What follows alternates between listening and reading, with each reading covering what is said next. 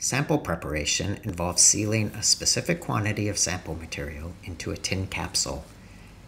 If there's the possibility of carbonates in your samples, you will need to acidify them prior to combustion to remove any inorganic carbon. There are various methods for removing carbonates, and I can provide you with some references to decide which technique is best for your type of samples.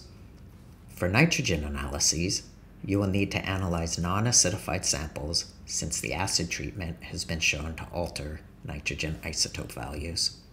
Once the samples are dry and homogenized, we will need to determine the ideal sample size.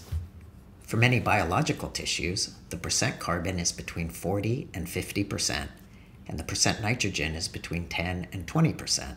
So a typical mass that is ideal for our system is 1 milligram of biological tissues, it is always a good idea to consult with the CLIPT lab prior to prepping your samples so we can work out ideal masses for your specific sample types.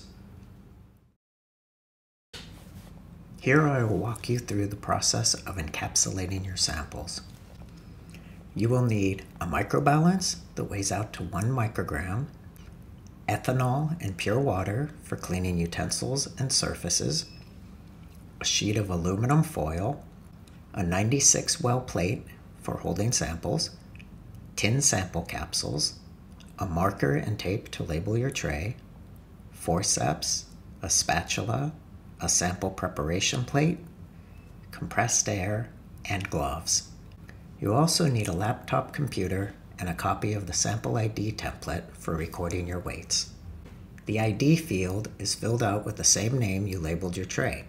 Fill your name as the preparer the date you weighed the samples, the brand and size of your capsules, and any additional notes on your samples such as type of material, estimated percent compositions, etc.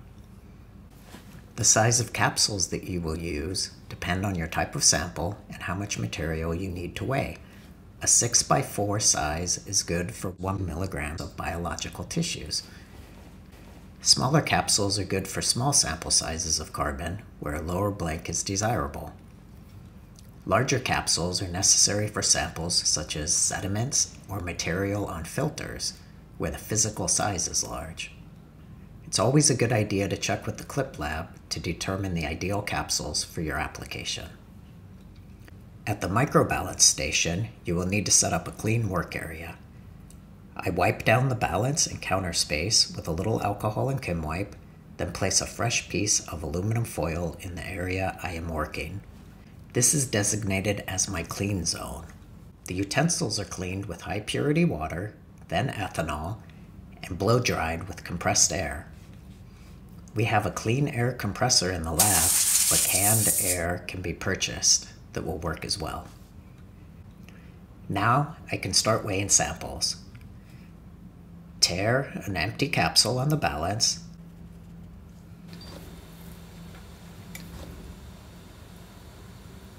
then place some sample material into it.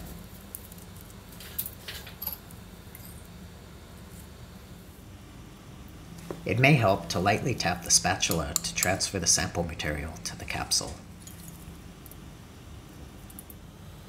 Weigh the capsule with your sample, then add more if necessary. If there's too much, I toss the capsule out and start over if I have enough extra material. As you weigh samples, you'll quickly get a feel for how much material you need.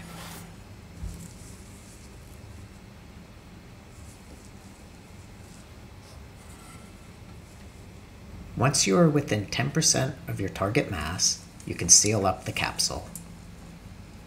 I first crimp the top closed, then fold over, I slowly pinch it together on all sides. I do this very tightly with only one milligram of sample. It is unlikely to burst the capsule. With larger samples, such as sediments with low amounts of carbon and nitrogen, you will need to be careful not to puncture the capsule as you ball it up.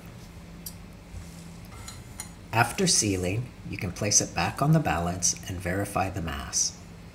Remember that the percent compositions that we calculate for you use the mass that you provide us, so it needs to be accurate. Once the capsule is sealed, place it in the 96 well plate in the position that matches the sample ID sheet. Your encapsulated samples should resemble the examples on the left. These are compact with no trapped air and no flat edges that can jam our carousel mechanism. The two capsules on the right are too large and would not fit in our carousel wells. Any trapped air in them would introduce ambient carbon dioxide and nitrogen contamination. The wells in our standard carousel are 4 millimeters in diameter, which means the capsules must be less than this. For sample types that require larger amounts of materials, such as soils and sediments, we can use a carousel that has 8 millimeter diameter wells, but it decreases the total capacity by half. Once the tray is finished, tape the top closed and contact the CLIPT lab to set up delivery of the sample tray. Before delivering the tray, tap it against the table several times and check if any material has escaped from your capsules.